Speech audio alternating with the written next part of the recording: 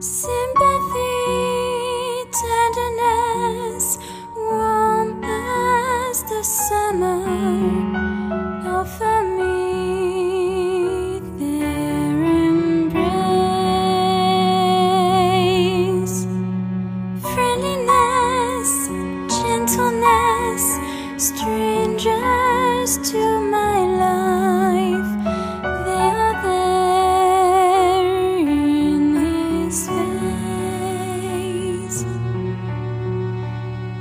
Goodness and sweetness and kindness abound in this place.